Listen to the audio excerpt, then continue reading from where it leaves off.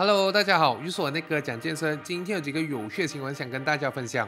这个是李金波最新的状态。如果是金波波哥的粉丝，你们看了这个最新的状态，你们觉得有什么不一样？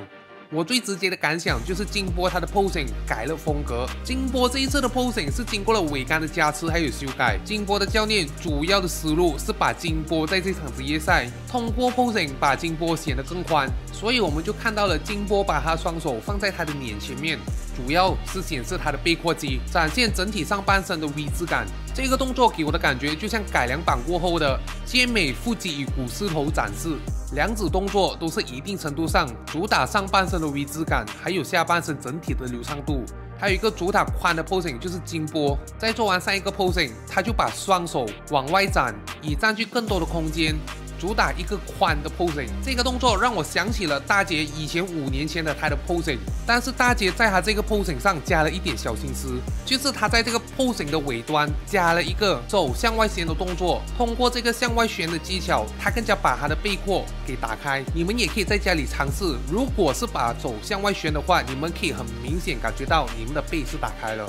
唯一可惜的是，金波这一次他的全新 posing 里，他不会加入这个。双手向下压这一个动作，也是男子健体一个非常经典的 posing 动作。那根据他的备赛教练所说，因为这一次主打的思路是宽，虽然这个动作它的张力是非非常的好，但是。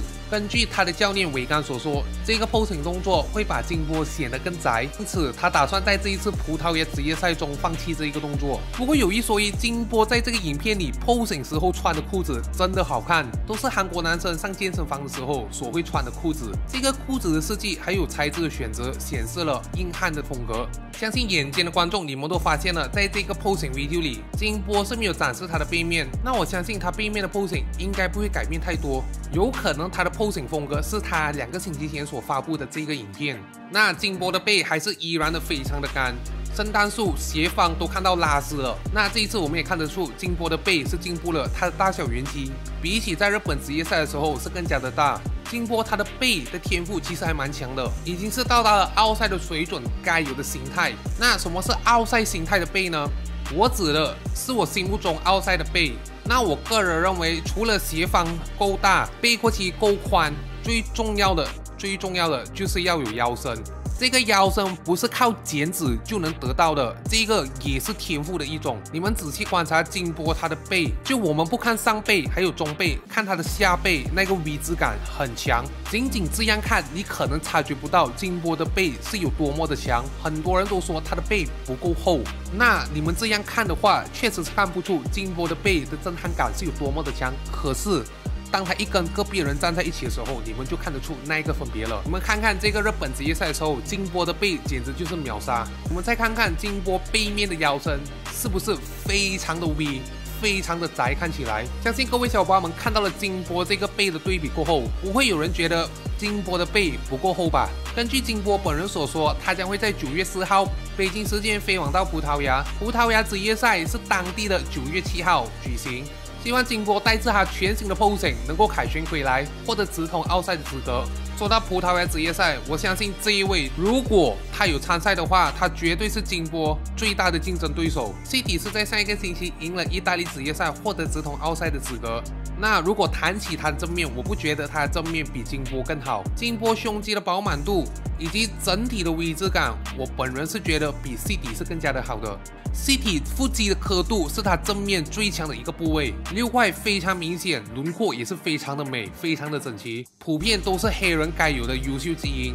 那谈起它的背的话，C 体的背绝对是非常的优秀，给我就是北京拿卡的小黑加强版的感觉，无论是质感、刻度、肌肉的纹理，还有形态，都已经是到达了顶级的水准。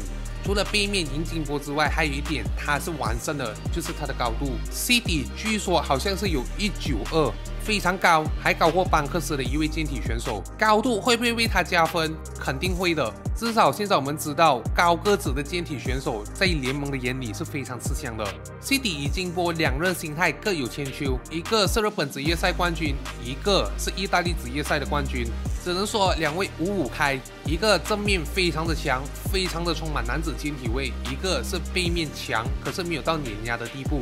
最重要的还是看当天谁的状态更加好，那谁就成为了当天的冠军。说到意大利职业赛，还有另外一位也是会去参加的，就是这一位黑暗霸王龙。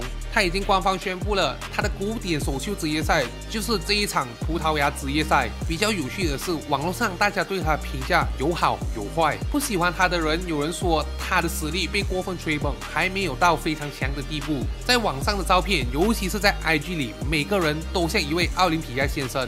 都拥有把上一届的奥林匹亚先生给干掉，其他人我就不多说了，我们就拿灭霸为例子吧。照片里的比例真是夸张到你会误以为他就是奥林匹亚先生，但是实际上嘛，实力大家都是有目共睹的。作为黑暗霸王龙。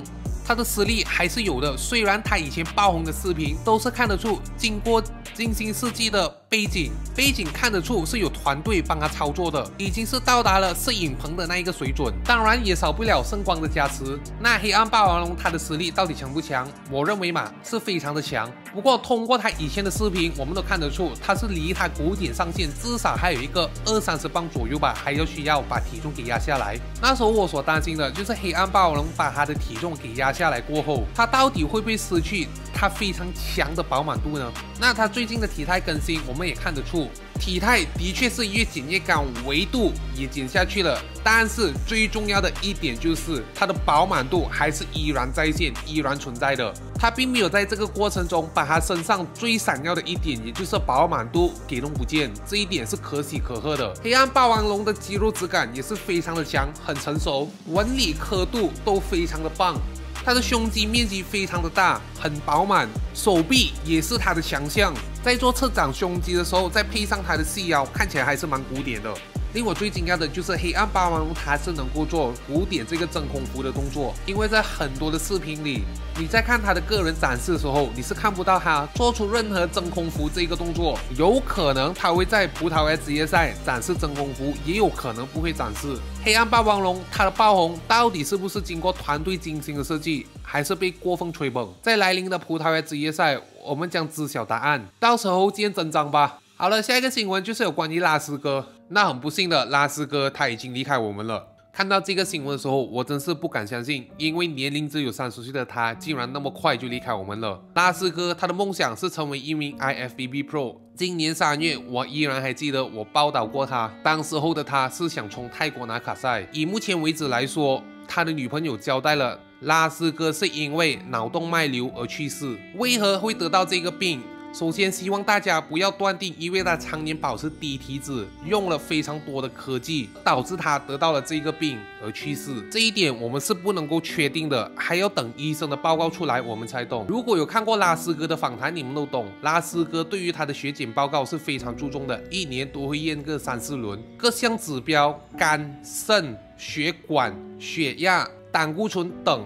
都是非常漂亮的，而且他也公开表示过，他年轻的时候很无知，是用了很多大量的科技，导致他 PCT 过后都不能够恢复睾酮的指数，因此他现在只能靠 TRT 保持正常的睾酮水平。就算是从泰国拿卡赛的时候，他的剂量也是非常的低，全程都是由 Push Grade 所操刀，以确保他的安全还有健康。血检报告虽然能够告诉我们身体哪里出了毛病，但是很多时候有些病是不能够验出来的。那什么是脑动脉瘤呢？我上网查了查，脑动脉瘤指的是脑部其中一条血管出现了隆起或者是鼓胀。